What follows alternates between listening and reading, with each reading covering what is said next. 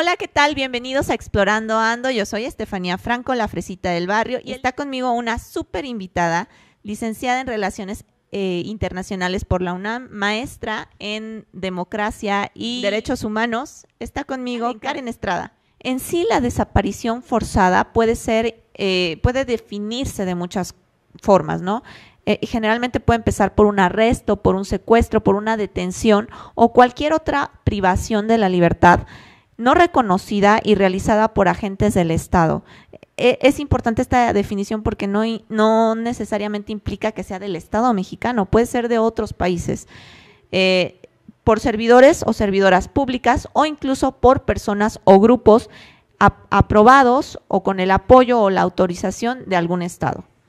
Em, la privación de la libertad y la ocultación de información sobre el paradero de esta persona desaparecida son pieza clave para eh, eh, caracterizar que estamos ante una desaparición forzada de personas. La desaparición forzada viola también un conjunto de derechos que pues no solamente se van a la privación de la libertad, sino también al desarrollo económico, al desarrollo cultural, al desarrollo eh, en educación, eh, a derechos humanos también puede ser eh, una persona que es este obligada a contraer matrimonio con, alguna persona que pues no no está dentro de su de su ámbito de, elección. Eh, también puede ser sometida a tortura a tratos crueles inhumanos o degradantes. Justamente em, la parte que ya nos hablaba sobre el tema de desaparición ya eh, están contextualizadas más en esta problemática social eh, más generalizada de, de problemas y de delitos a partir de esta guerra eh, contra el narcotráfico, por así decirlo. Entonces ya traen, eh, si bien traen varias características también eh, de las que ya platicamos sobre la película del secreto del doctor Greenberg, aquí sí me gustaría puntualizar que aquí ya vamos a hablar un poco más específico de desapariciones forzadas eh, generalizadas, ¿no? Yo les decía al principio que en el caso del, secreto del doctor Greenberg estábamos hablando de un caso eh, aislado y aquí hablamos de, mm, desapariciones eh, generalizadas porque ya hay conocimiento, ya está documentado que, estas desapariciones se llevan a cabo por grupos delincuenciales en nuestro país, ¿no? Grupos organizados, como es el, crimen organizado o el narcotráfico. Entonces, por ejemplo, eh, ya con lo que tú explicabas respecto a la desaparición o qué es la desaparición forzada, eh, me gustaría hacer algunas acotaciones antes de pasar a las, a las películas. Podríamos dividir, por ejemplo, qué es la desaparición de personas y qué es la desaparición forzada, ¿no? Es decir, qué se le da la categoría categoría de forzada a la desaparición, ¿no? En primera instancia, por ejemplo, la desaparición de una persona, nosotros podemos decir que es un hecho por el cual nosotros no tenemos eh, la certeza ¿no? Eh, de dónde se encuentra nuestro familiar, ¿no? Es decir, eh, no sabemos dónde está localizado, ¿no? No tenemos conocimiento de su paradero. Y por lo tanto tenemos la incertidumbre de saber si está bien, si está segura, si eh, si no le ha pasado nada. Entonces, desde el momento en que nosotros, por ejemplo, no tenemos comunicación con nuestro familiar, con nuestra hija, con nuestro hijo, con nuestro esposo, etcétera, y que de pronto no sabemos eh, si se encuentra bien, ahí nosotros ya estamos hablando de una desaparición, desaparición, de personas, ¿no? Eh, y esta desaparición puede deberse a varias causas. Sí, la, tú también ya hablabas, por ejemplo, de, de cómo es por parte de quién es cometida la desaparición. En la desaparición de personas, eh, esta puede ser cometida por particulares, por cualquier persona, ¿no? incluso por familiares, amigos, conocidos. Más adelante en las películas vamos a, indagar un poquito de eso.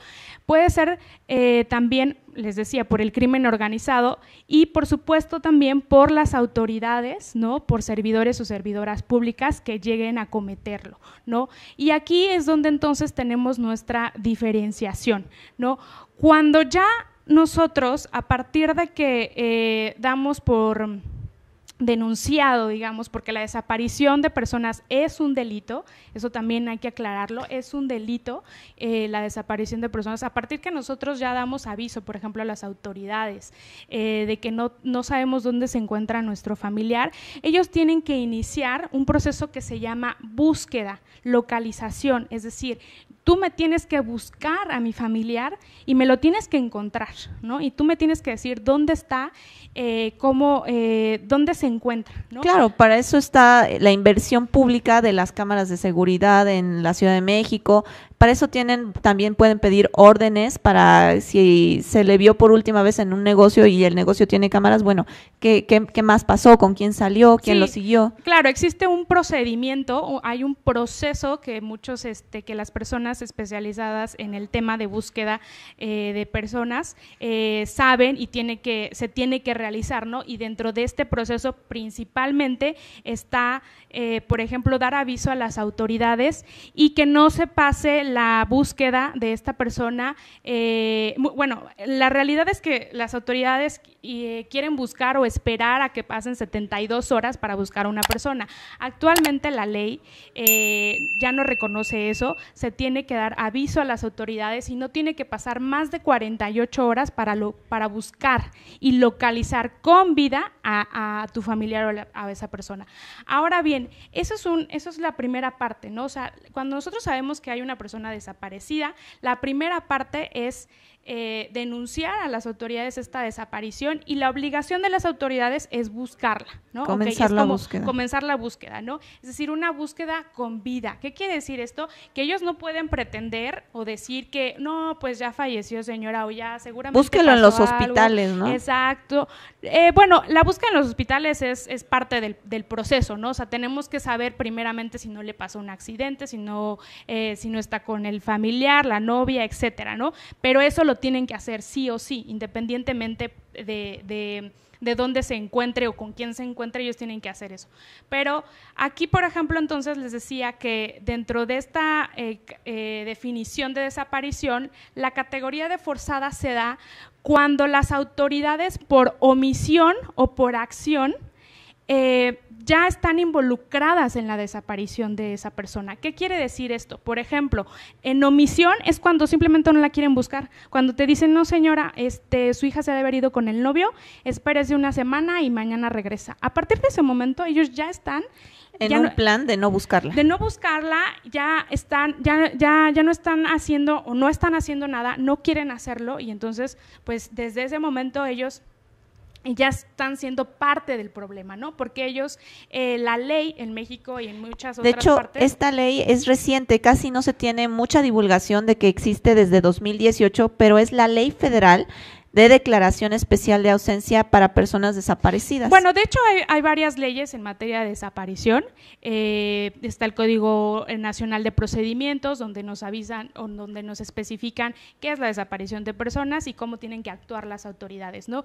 Eh, se, se han reformado las leyes precisamente para que ya no se tenga que esperar las 72 horas para buscar a las personas. Por eso hablamos de estas leyes recientes, pero la realidad es que la búsqueda de esas personas tiene que ser, eh, o sea, eh, las leyes desde antes ya, ya se catalogaba con, eh, de que eran un delito y que se tienen que buscar a las personas. Actualmente se han reformado para que se agilicen los procedimientos de búsqueda de personas.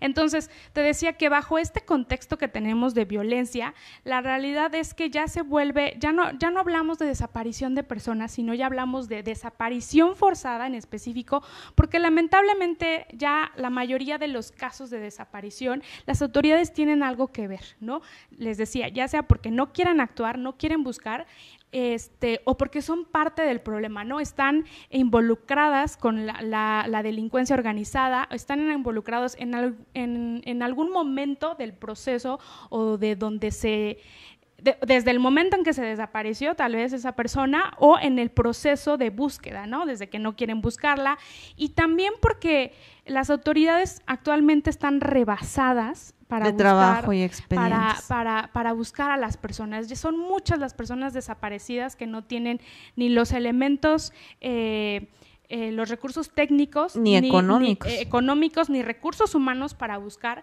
porque déjame decirte que hasta el año pasado, en agosto de 2022, la Comisión Nacional de Búsqueda aproximadamente dio una cifra de 105 mil, más de 105 más de 105 mil personas desaparecidas. Y de estas 105 mil personas desaparecidas, no se sabe a ciencia cierta cuántas de estas son desapariciones forzadas, es decir, donde las autoridades tengan están involucradas. Están involucradas, pero pero ya decimos que ya es en general, porque te digo, a partir de que ya no quieren buscar, pues ellas están involucradas. Bueno, amigos, pues no se pierdan el próximo programa la próxima semana, porque vamos a continuar con este tema. No, se vayan a perder el programa. Yo soy Estefanía Franco, la fresita del barrio. Está Jorge Domínguez, el rostro.